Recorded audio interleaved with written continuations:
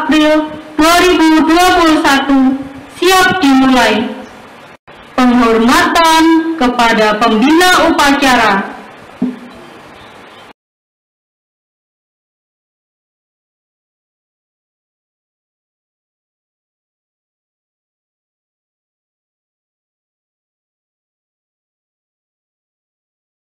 kepada pembina upacara hormat gerak!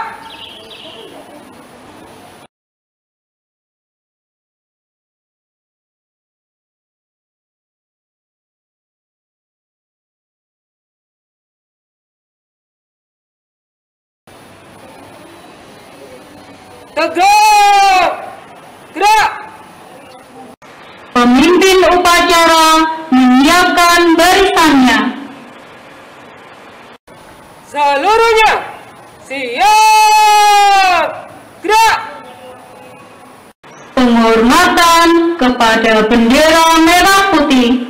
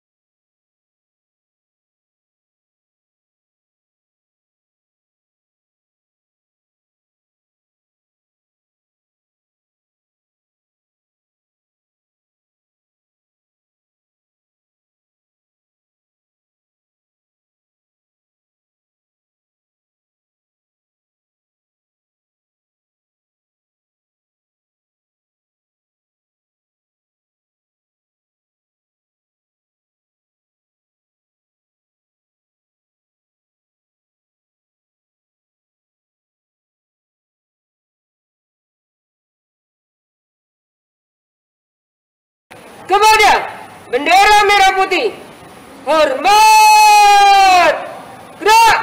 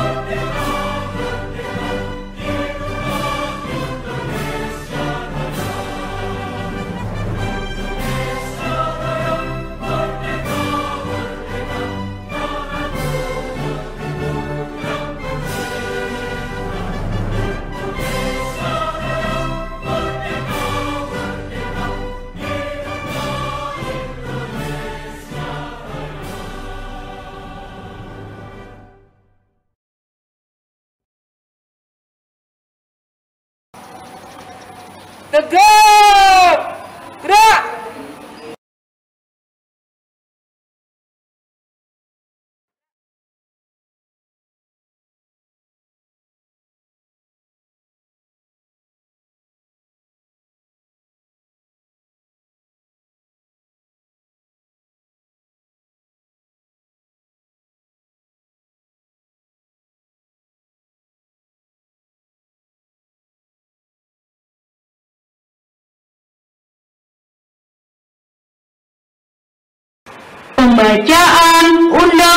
Dasar 1945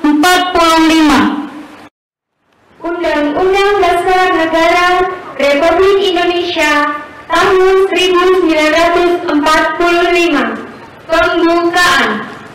Bahwa sesungguhnya kemerdekaan itu ialah hak segala bangsa. Dan oleh sebab itu maka penjajahan di atas dunia harus dihapuskan karena tidak sesuai dengan pri kemanusiaan dan pri keadilan.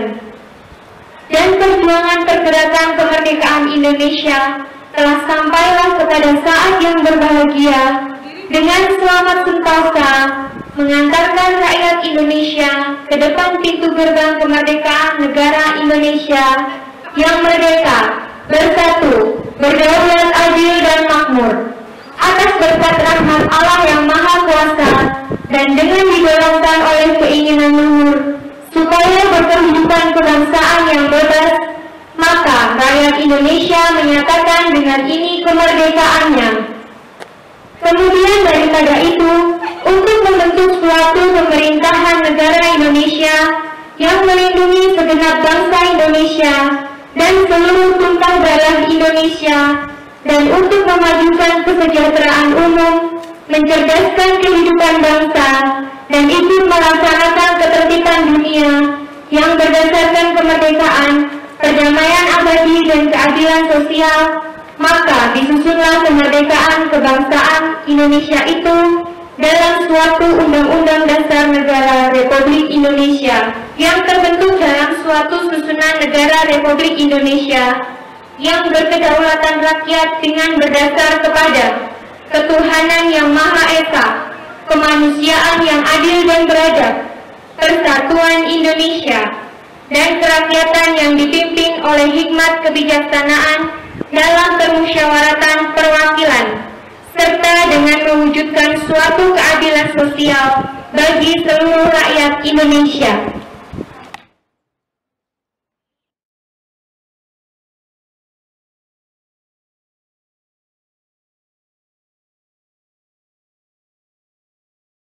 Pembacaan teks Pancasila Mohon ditirukan dengan suara yang lantang. Pancasila.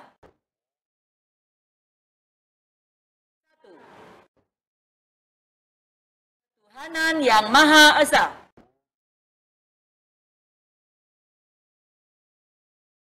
Dua. Kemanusiaan yang adil dan beradab.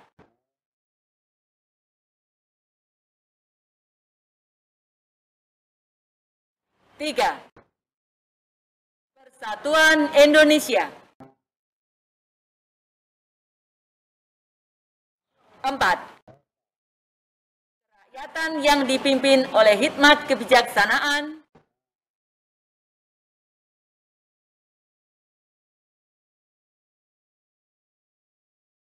Dalam permusyawaratan perwakilan.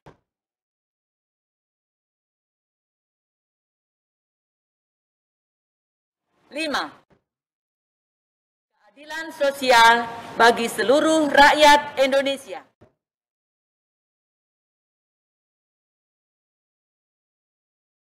Sambutan Pembina Upacara Untuk amanat, istirahat di tempat. Gerak!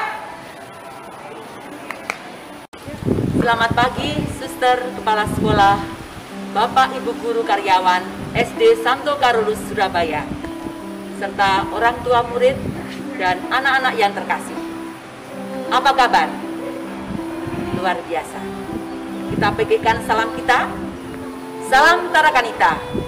Satu hati, satu semangat. Tarakanita, yes. Terima kasih anak-anak. Pertama-tama, marilah kita panjatkan puji syukur kepada Tuhan Yang Maha Esa karena berkat kasih limpahannya. Pada hari ini, kita bersama-sama berkumpul untuk melaksanakan kegiatan upacara bendera dalam rangka memperingati Hari Kartini. Upacara kali ini sangat istimewa karena dilaksanakan secara virtual. Pada kesempatan ini, Ibu akan menyampaikan sebuah sambutan tentang bagaimana kita menyikapi makna menjadi perempuan terdidik dari semangat RA Kartini. Hari ini merupakan hari yang bersejarah bagi perempuan Indonesia. Karena tanggal 21 April kita memperingati Hari Kartini. Kita juga memperingati semangat Kartini di dalam kehidupan kita sehari-hari. Kartini lahir pada tanggal 21 April tahun 1879 di Jepara, Jawa Tengah. Anak-anak yang terkasih, Raden Ajeng Kartini adalah pahlawan nasional yang berjuang membela hak-hak perempuan. Beliau juga sesosok perempuan yang dengan pendidikan di keraton dan juga memperoleh sekolah di Eropanya, ia mampu berpikir lebih maju. Pada waktu itu, Kartini merasa risau dengan adat budaya yang ia alami semasa hidupnya. Melalui pemikiran yang ia tuangkan dari tulisan-tulisannya yang berupa surat kepada sahabatnya di Belanda, dan surat itu terkumpul dan dijadikan sebuah buku dengan judul Habis Gelap, Terbitlah Terang. Kiranya Hari Kartini bukan hanya tentang menjadi apa yang laki-laki bisa kerjakan, tetapi tentang kesetaraan untuk dapat menjadi manusia yang beradab dengan mendapat kesempatan belajar setara dengan para laki-laki. Mungkin menjadi jelas bagi Kartini bagaimana Kartini peduli akan pentingnya menjadi perempuan yang terdidik. Sehingga dalam prosesnya, beliau juga memberikan, mendirikan sebuah sekolah yang namanya adalah Sekolah Kartini. Demikianlah sambutan tentang Hari Kartini. Semoga anak-anak bisa mencontoh semangat Kartini. Bagaimana semangat yang harus kita teladani. Pantang menyerah di dalam belajar. Untuk itu ibu berpesan kepada anak-anak semuanya, teruslah belajar, capailah cita-cita kalian. Sehingga apa yang menjadi cita-cita kalian semua dapat terwujud. Jadilah Kartini-Kartini kecil yang penuh semangat. Akhir kata, diucapkan terima kasih untuk hari ini. Semoga pandemi segera berlalu dan kita semua bisa berkumpul kembali di sekolah. Terima kasih. Seluruhnya siap gerak menyanyikan lagu nasional Ibu Kita Kartini dan Mas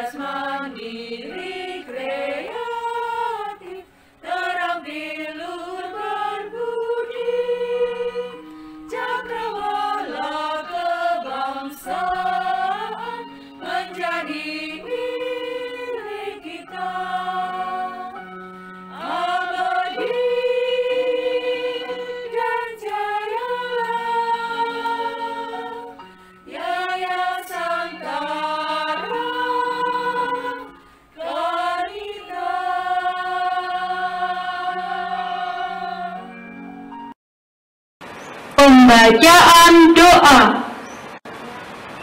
Selamat pagi, suster, Bapak Ibu, karyawan, serta semua anak-anak SD Santo Paulus, para wanita Surabaya yang terkasih.